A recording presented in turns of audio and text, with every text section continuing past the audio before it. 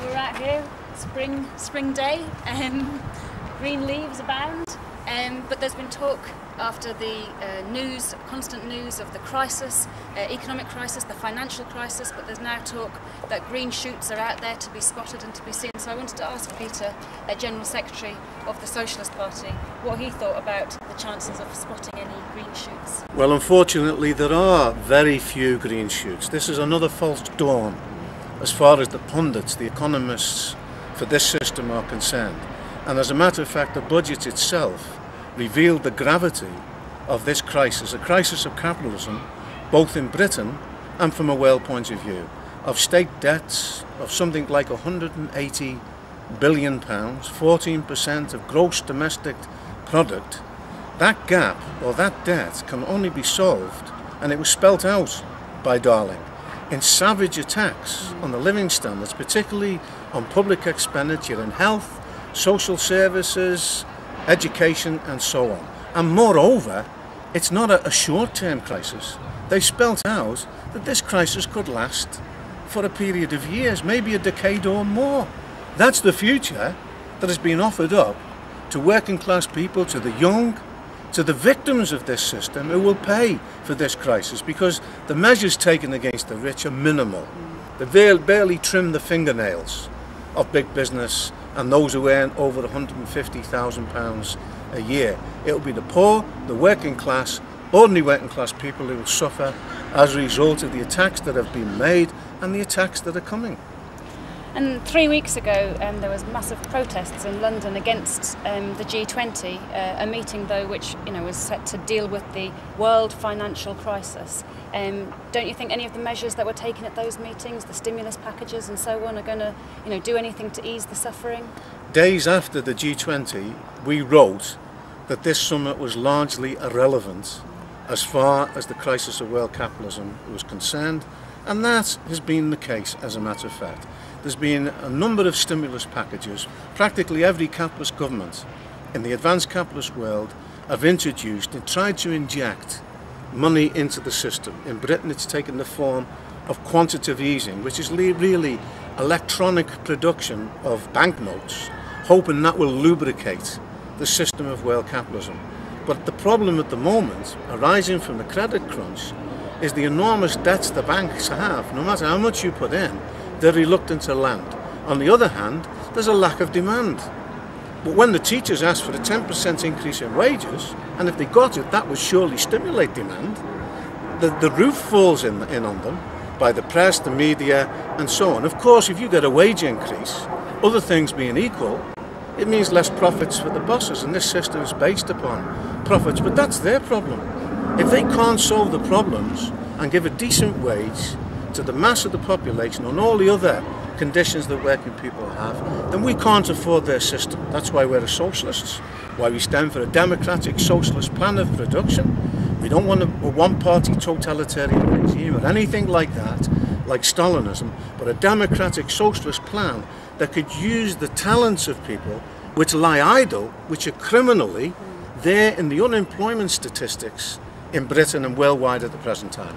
Well, that's something else I wanted to ask you about actually, because uh, obviously Darling has really focused on, you know, trying to save young people from being chucked on the scrap heap and so on, announcing that this budget is one that's going to really help young people avoid unemployment. What would you have to say about the measures that have been taken in that in that direction? Well, again, it's a palliative. It's a panic short-term measure to try and cover up the problem the, one of the biggest components of the rise of unemployment is amongst the 15 to 25 year olds. That's going to grow. If it goes to 3 million, as it's likely to.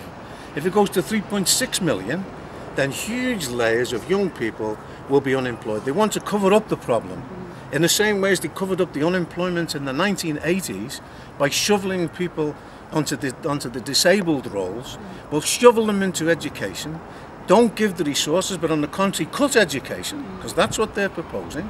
They're massively increasing top up fees, so the, the, the avenues for ordinary young people to escape from these problems won't be there. It's a palliative, it's an attempt to cover it up, but it's producing a time bomb of unemployed young people who will not accept this situation. They will revolt against this government's measures and the next government if it comes to that and will demand answers to the problems. I think the Socialist Party, and particularly our young members and comrades, have got answers on this. In the March for Jobs, which has been organised in the campaign to save this generation from a return back to the 1930s. I do want to ask you about what you would do now, what the Socialist Party would do now. But first of all, you know, people looking at the European elections and so on, they might be thinking, well, you know, New Labour's response is a rubbish response to the crisis. But what about the other parties? Do they? Well, all the other parties, to one degree or another, are capitalist parties. They have no solution. They're trying to to solve the problems within the confines of capitalism. It's a bit like uh, Alexander the Great trying to un un untie the Gordian knot. He couldn't do it. He had to take a, a, his axe, his sword to cut the Gordian knot. That's the dilemma facing the working class and the labour movement in Britain and worldwide. But what we would do is we would first of all nationalise the banks under democratic control, popular control, involving the producers in the banking industry, but other producers and the consumers, involving those affected like small business people and so on, and drawing up a democratic plan of organising a nationalised banking sector. That's one. We give a minimum wage, a living wage, not just to the low paid, but to all sections of society, including young people, including the criminally underpaid and underfunded health service, the same with old age pensioners and so on. And in the European elections, the only alternative, real alternative in this, is the platform organised by the Rail and Maritime Union, with Bob Crow as the leader, in which the Socialist Party is collaborating to put forward an alternative no to the EU and yes to democracy that is defending workers, like for instance the Lindsey workers and others who've been affected by the anti-working class legislation of the EU. That's the only alternative. And within this campaign, the Socialist Party will be putting forward our own socialist aims and objectives and solutions to the problems of uh, the working people face in Britain and throughout Europe. Okay, and another question I had really was um, I read uh, John Lloyd in the Financial Times claiming that the left is incapable really of you know taking advantage of this crisis of capitalism, um, you know that they're kind of trailing behind, not able to to speak to people about it. Basically, what what would you say about that? Well, I think that that is false. Mm. He's got a certain grain of truth in his arguments, in the sense that the left, from a broad point of view, is perhaps weaker in this crisis than any other previous period. Why?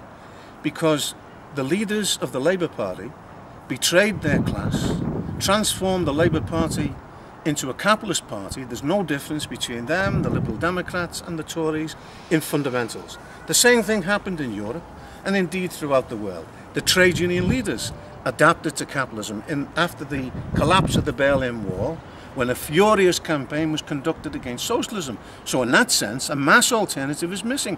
That's why we advocate the creation of new mass socialist and workers' parties in the same way as has been created in Greece with Syriza mm. and also with the, the Left Party in Germany and with the anti-capitalist party NPA in France of Olivier Besancenot, mm. which has got a substantial position in the elections, that's the way that the working class of Britain needs to go. So we need a broad mass alternative. But a party is for a, for a reason. Mm. That party must stand for something against this system and put forward alternatives to capitalism, as I've tried to explain, on jobs, on housing, on education, and put forward the idea, renovate and rehabilitate the ideas of socialism that appear to have been wiped out in a mass form in the last 20 years. And that's coming, by the way. No matter what Lloyd says, he's, he's trying to uh, congratulate himself that capitalism doesn't face a challenge. It doesn't face a challenge from Brown. It doesn't face a challenge from Darling. It doesn't face a challenge from right-wing trade union leaders, but it faces a challenge from working class people and particularly the new generation who will not accept what this system is promising them, which is a diet of cuts, of mass unemployment, deprivation and poverty as far as the eye can see into the future.